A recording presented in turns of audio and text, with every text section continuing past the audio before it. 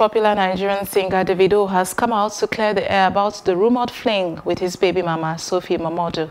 The music star took to his social media on Thursday, January the 2nd, and shared a lengthy post about the reasons Sophie Momodu joined him in his private jet during his trip to Ghana.